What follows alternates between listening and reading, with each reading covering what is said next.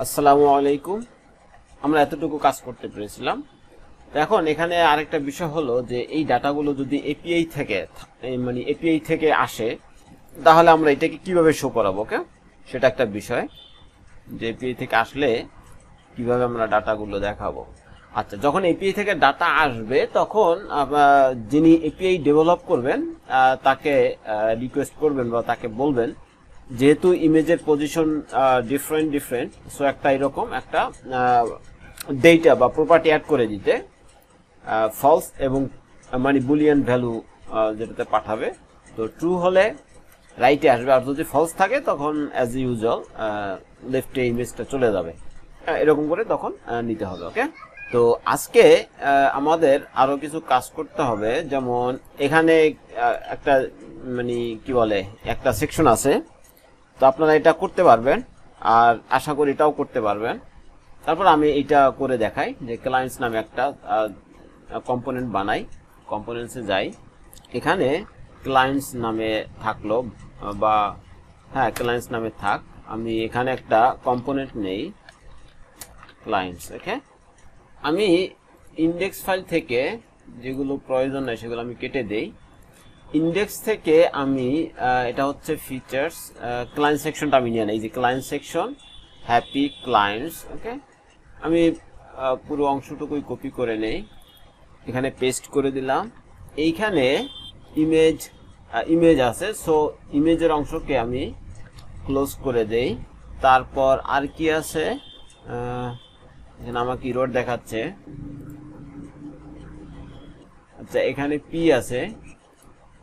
Section এখানে twelve এখানে H one P tag okay আচ্ছা এই যে বিয়ার বিয়ারে ক্লোজিং ট্যাগ দেওয়া নাই, এই জন্য, অর্থাৎ এই সাইনটা দেওয়া নাই।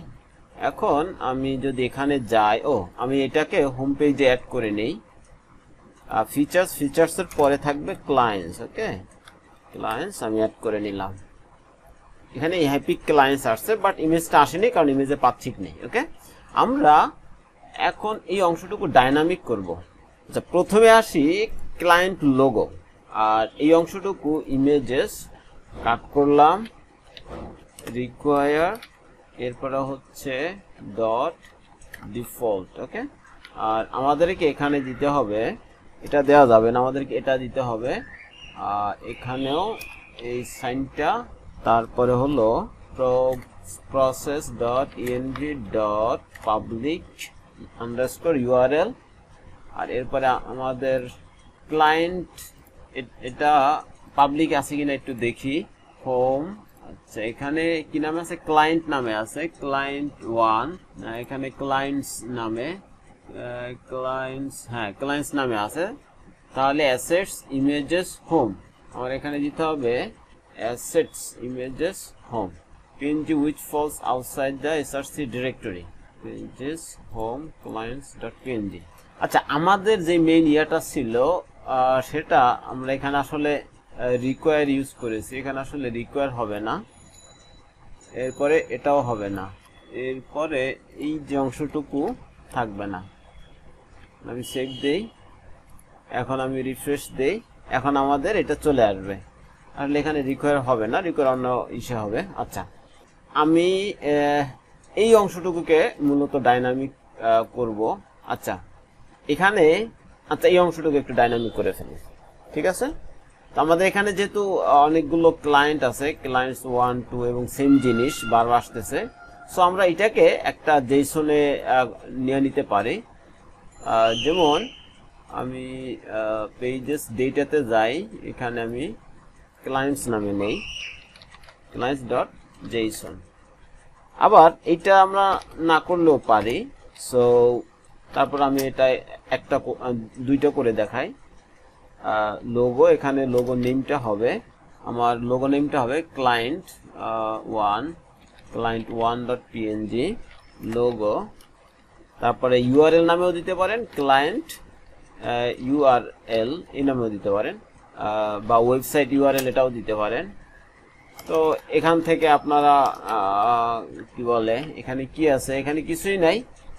সো আমি HTTPS clone book dot com okay এটা দিয়ে দিলাম। এই জিনিসটা একটা অবজেক্ট হবে। আচ্ছা এরপরে এটার একটা নাম থাকতে পারে, তাই না? নেম নেম আমি এটা দেই ফেসবুক ক্লায়েন্ট ইউআরএল আচ্ছা এখানে আমরা ক্লায়েন্ট টু নামে নেই। এটা দেই টুইটার টুইটার এটা থাকল ক্লায়েন্ট থ্রি এইটাতে আমি আসলে কিছু দিলাম না। তো যেহেতু আমি কিছুই দিলাম না সো এটা থাক। টুইটার এটা দেই ইনস্টাগ্রাম ওকে? লাস্টে কমাটা হবে না। সেভ দিলাম। এখন আমি এটাকে ইম্পোর্ট করি। আছে ডাটা নামে আছে। তাহলে আরও একটা উপরে ডেটা এখানে আছে কি?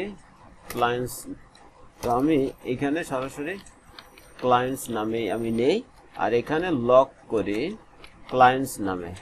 আমি একটু ইন্সপেক্ট এলিমেন্ট করে দেখি যে আমাদের এখানে ডাটাটা আদৌ আসছে কি না অ্যারেজ তিনটা ভ্যালু আসছে ওকে আর আমাদেরকে ক্লাস নেমটা চেঞ্জ করে দিতে হবে, তো ক্লাস এটা চেঞ্জ করে দেই ওকে এখন আমি এটাকে একটা লুপ চালাই রাইট তো আমাদের প্রতিটা লুপ আর এই ক্লাসগুলো আসলে দরকার নাই। এক্সট্রা কিছু সিএস সিএসএস ক্লাস আছে। আমি এই প্রত্যেকটাকে এক একটা করে লুপ চালাবো, ওকে? তাহলে আমি বলতে পারি clients dot length is greater than zero যদি হয়, তাহলে এটা হবে। আর যদি না থাকে, তাহলে আমরা তাকে বলতে পারি যে নো ক্লায়েন্ট ইনফো ফাউন্ড আর এইখানে আরও সবচাইতে ভালো হয় আমি যদি এভাবে চেক করি অ্যারে ডট ইজ অ্যারে এবং এখানে ক্লায়েন্টসটা দিয়ে দেই, যদি হয় তাহলে মূলত এখানে আসবে। আর আমরা এটা হচ্ছে সবচাইতে ভালো, এটা দিয়ে দাও, করা উচিত, যে প্রথমে চেক করবে যে আসলে আমি যেই ডাটাটাকে দিচ্ছি, এটা আদৌ অ্যারে কিনা। যদি অ্যারে হয় তাহলে সে নেক্সট স্টেপে যাবে, আর অ্যারে যদি না হয় তাহলে আর যাবে না ওকে একটু কমেন্ট করে রাখি। তাহলে ক্লায়েন্টস আমি এখানে আরেকটা জিনিস নিব, সেটা হলো, এখানে সরাসরি ক্লায়েন্টস ডট ম্যাপ ক্লায়েন্ট আর এইখানে আমি সরি এখানে আমি আরেকটা নিব, সেটা হচ্ছে ইন্ডেক্স এক্ষেত্রে আমি এখানেও এক্সপ্লিসিট সরি ইমপ্লিসিট রিটার্ন করি। আর এই অংশটুকু আমি এখানে নিয়ে গেলাম। সরি আমি এটা কালি ব্রেসটা তুলে দেই ওকে এখন আমাদের ইন্ডেক্সকে কি হিসেবে এখানে সেট করতে হবে? ইন্ডেক্স আর এইখানে আমাদেরকে রাখতে হবে ক্লায়েন্ট ডট এইটা না, আমাদের client client URL okay client dot client URL আর ইমেজের ক্ষেত্রে আমাদের লাগবে process dot ENV dot public URL এরপর আমাকে নিতে হবে অ্যাসেটস তারপর ইমেজেস হোম এরপর আমি ক্লায়েন্ট ডট লোগো এই নামে নেই। এরপর অল ট্যাগে আমি ক্লায়েন্ট ডট কি আছে? নেম নামে আছে ওকে ক্লায়েন্ট নেম এখন আমি দেখি যে কি আসছে। হ্যাঁ আমার এই তিনটে আসছে। দেখেন, এখানে ফেসবুক আছে, এখানে টুইটার আছে, এখানে ইনস্টাগ্রাম এটা আছে বাট এটা এখানে কিছু নাই। এখন আমি একটু ইন্সপেক্ট করে দেখি। এখানে দেখেন টুইটার অল ট্যাগে টুইটার আছে ওকে তাহলে আমাদের এটা কাজ করছে। আর এইটাকে আমরা আরও ভালো করে কাজ করাতে পারি। এই ক্লায়েন্টের ভিতরে আরেকটা ফোল্ডার করে নেই। Client item okay client item এখন এই ক্লায়েন্ট আইটেমে আমি এই অংশটুকু বসাই দেই। এখানে ইন্ডেক্স আছে তারপরে ভিন্ন ভিন্ন ইনফরমেশন আছে। আর এখান থেকে আমরা কিছু ডাটা রিসিভ করব, সেটা হলো ক্লায়েন্ট ওকে ক্লায়েন্ট আর একে আমি এখানে ইম্পোর্ট করে নিয়ে আসি। এক্ষেত্রে আমি এই কাজটা, এইখানে এই কাজটা করতে পারি, যেমন ক্লায়েন্ট আইটেম ওকে আর এইখানে আমি এই কিটা সেট করে দেই, আর ক্লায়েন্টে আমি ক্লায়েন্ট অ্যাড করে দিলাম। ওকে তাহলে আমি এই ক্লায়েন্ট আমাকে নতুন কোনো কিছু চেঞ্জ করতে হচ্ছে না জাস্ট এইটুকু আমি রিমুভ করে দেই। আশা করি বুঝতে পারছেন, আর এই বিষয়টা নিয়ে এর আগেও কথা বলছিলাম, যে এটা আমরা কেন করব। ওকে হ্যাঁ। আমাদের কিন্তু এখনও ঠিকমতো কাজ করতেছে। আর একটা ইরোর আছে, দেখি আসলে ইরোরটা কি কারণে। ক্লাস ডিজু আচ্ছা এটা কোথায় আছে? সেকশন অ্যাকশন আচ্ছা অ্যাকশনে আমরা প্রথমে অ্যাকশনে চেক করি। যেমন অ্যাকশন নামে একটা কম্পোনেন্ট বানিয়েছিলাম, এখানে সামহাউ ক্লাস আছে ওকে আমি একটু সার্চ দেই। ক্লাস নাম এখানে আসলে নেই। তাহলে ক্লাস নামে নেই, এখানে তাহলে কেন বলছে? ওকে ক্লাস নেই আমি একটু গ্লোবালি সার্চ দেই ক্লাস আমি যদি এটা বাদ দেই, তাহলে ইন্ডেক্স এইখানে এই যে ক্লাস নামে আছে। ওকে, আর কোথায় আছে? আচ্ছা এখন দেখি আমাদের সেই ইরোডটা আছে কিনা। আচ্ছা আমাদের ইরোডটা চলে গেছে, এখন আর ইরোডটা নাই, ওকে? আচ্ছা এখন আমি ক্লায়েন্ট আইডি আচ্ছা। এখানে আমরা আরও কিছু নিতে পারি, সেটা হলো অ্যাকশন দরকার নাই, এখান থেকে। এখান থেকে যদি কোনো কিছু পাস করে, সেটা যাতে আমরা এখানে থেকে নিতে পারি, সেটার জন্য আমরা এখানে বলে দেই রেস্ট ওকে আর এই জিনিসটা আমি এখানে এনে বসাই দেই। আমার মনে হয় না এখানে দরকার আছে। আমি রিমুভই করে দেই ওকে এটা নিষ্প্রয়োজন। তাহলে আমরা এটা করতে পারলাম। আর ফুটার অংশটা আমরা ফুটার অংশ আশা করি পারব, অথবা আপনাদের জন্য এটা ইয়া থাকল, একটা টেস্ট থাকল। এখন আমরা অ্যাবাউটে যাই। আচ্ছা এই অংশটুকু সেম আছে মিট দ্য টিম এটাও আপনারা করতে পারবেন। তবে যেহেতু ক্যারোসেল ক্যারোসেলটা নিয়ে আমি আরও পরে কাজ করি। এখন আসি আমি আমাদের মূল কাজে। আমরা এত এতক্ষণ যেভাবে কাজ করছি, সেটা হলো, আমরা যদি আর্কিটেকচারটা একটু দেখি এখানে। এসআরসি ফোল্ডার এর মধ্যে আমি আমার অ্যাসেটস রাখছি। এখানে সিএসএস থাকতে পারে ফন্টস আছে ইমেজেস আছে বাড়তি যদি অন্য কোনো সাজ থাকে সেটা আপনারা আপনারা নিয়ে আসতে পারেন। এক্সট্রা যদি ফন্টস থাকে ওগুলো নিয়ে আসতে পারেন ওকে অর্থাৎ অ্যাসেটস বলতে যা বোঝায় সেগুলো আমরা এখানে রাখতে পারি। দ্বিতীয় হচ্ছে কম্পোনেন্টস আমরা অ্যাকশন ক্লায়েন্টস ফিচার্স এরকম কম্পোনেন্ট ভাগ ভাগ করে নিয়েছি। এখন আমরা শুধুমাত্র হোম পেজে কম্পোনেন্টসগুলো অ্যাড করেছি। এখন আমরা যদি অ্যাবাউট নিয়ে কাজ করতে চাই, তাহলে আমি দেখাই যে অ্যাবাউটে কি আছে। এখানে একটা কি বলে ব্রেড ক্রাম আছে, তাই না? আচ্ছা এখানে একটা অংশ আছে। আমরা এই অংশটা কিন্তু তৈরি করছি ফিচার্স নামে। সো আমরা শুধু এই ফিচার্স অংশটা করে দেখে আর ব্রেড ক্রামসটা করে দেখে। তাহলে দেখবেন যে আপনারা খুব সহজে এই জিনিসটা করতে পারতেছেন। আমি এখান থেকে অ্যাবাউটে যাই। আচ্ছা এখানে অ্যাবাউট এখানেই লিখি। অ্যাবাউট আস এখানে অ্যাবাউট আস আছে। তো আমি হোম থেকে হোম থেকে hero section service card action এরপর হচ্ছে ফিচার্স আমি জাস্ট এইটা এনে, আমি ক্লায়েন্টস এটা রিমুভ করে দেই ক্লায়েন্ট আইডি দরকার নাই অ্যাবাউট আমি এইখানে পেস্ট করে দিলাম ওকে দেখবেন যে আমাদের ফিচার্স তো আচ্ছা এইটা না, তাহলে ফিচার এইটা অংশটা সার্ভিস নামে আছে খুব সম্ভবত ওকে তাহলে এই সার্ভিস কার্ড আমরা সার্ভিস কার্ডটা নিয়ে আসি। এখন দেখেন যে আমাদের সার্ভিস কার্ডটা চলে আসছে ওকে আমরা এভাবে কাজ করতে পারি। এখন এই ব্রেড ক্রামটা আমরা নিয়ে আসি। ব্রেড ক্রাম আমি তাহলে অ্যাবাউটে যাই। এখান থেকে অ্যাবাউট আস এইচটিএমএল রাইট এই যে অ্যাবাউট আছে। আমি এটা এখানে ওপেন করলাম আর ইন্ডেক্সটা কেটে দিলাম। এখান থেকে হেডার অংশ নেবার দরকার নাই। তারপর হচ্ছে সেকশন পেজ ব্রেড ক্রাম আমাদের এইটা দরকার। তাহলে আমি এই কম্পোনেন্টস এসে একটা সেকশন বানাই, একটা কম্পোনেন্ট বানাই bread C R U M B breadcrumb okay bread paste করে দেই। আচ্ছা এখানে আমাদের কি কি দরকার? টাইটেল দরকার। তাহলে আমি টাইটেল নিলাম। তারপরে সাবটাইটেল দরকার বা ট্যাগ দরকার।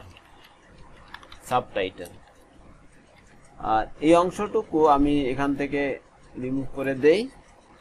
আগের মতো কন্ডিশন দিয়ে দিতে পারেন যে সাবটাইটেল যদি থাকে তাহলে সাবটাইটেল দেখাবে, না থাকলে দেখাবে না ওকে সাবটাইটেল যদি থাকে, শুধুমাত্র তখনই দেখাবে ওকে এটার ক্ষেত্রেও সেম টাইটেল টাইটেল যদি থাকে, শুধুমাত্র তখন এটা দেখাবে ওকে আমাদের মনে আর কিছু দরকার নাই। আচ্ছা এখন এই ব্রেড ক্রামটা আমি এখানে নিয়ে আসি অ্যাবাউটে নিয়ে আসি। রিফ্রেশ দেই। ও, এখান থেকে আরও কিছু ডাটা পাস করতে হবে, যেমন আচ্ছা এখানে আমাদেরকে ফ্রেগমেন্ট ইউজ করতে হবে। ওকে ফ্রেগমেন্ট ইউজ করলাম, এখন টেক্সট পাস করতে হবে, কি কি? টাইটেল টাইটেল আমি বলে দেই, এখান থেকে অ্যাবাউট আস সাবটাইটেল হবে এইটা। আমাদের টাইটেল চলে আসলো। এখন এই ব্যাকগ্রাউন্ড ইমেজটা কি হিসেবে আছে আমরা একটু দেখে আসি। ব্যাকগ্রাউন্ড ইমেজটা যদি আমি সেকশন পেজ ব্রেড ক্রামে যাই, এখানে আপনার ইউআরএল মানে কি বলে সিএসএস অ্যাড করে দেওয়া হয়েছে। সিএসএস যদি অ্যাড করে দেওয়া হয়েছে, আমরা একটা কাজ করতে পারি। আমি এই অংশটা এখান থেকে কপি করলাম, আর এখান থেকে আমি পাস করে দিলাম ইমেজ ওকে অথবা বিজি ইমেজ বিজি আমি এখান থেকে কি পাস করে দিলাম? আচ্ছা আমি ইমেজ ডট পিএনজি ওকে এখন আমি ব্রেড ক্রামে এসে আমি এখানে বলে দিতে পারি। আচ্ছা এখান থেকে আমি আগে রিসিভ করি এটাকে। বিজি ইমেজ স্টাইলস স্টাইলে কি হবে? এসটি আচ্ছা। ব্যাকগ্রাউন্ড ইমেজ এখানে আমি বলতে পারি যদি বিজি ইমেজ থাকে, তাহলে কি হবে? ইমেজ যদি থাকে, আমি এটা একটু বড় করে নেই। স্টাইল বলে বিজি ইমেজ যদি থাকে, তাহলে এটা কাজ করবে। আর যদি না থাকে, তাহলে আরেকটা কাজ করবে, ওকে? আর এইখানে আমি বলে দেই ব্যাকগ্রাউন্ড ইমেজ ওকে? ব্যাকগ্রাউন্ড ইমেজে কি হবে? ইউআরএল এটা আমি কেটে দেই। আর এইখানে আমি ইমেজের পাতটা নিয়ে আসি।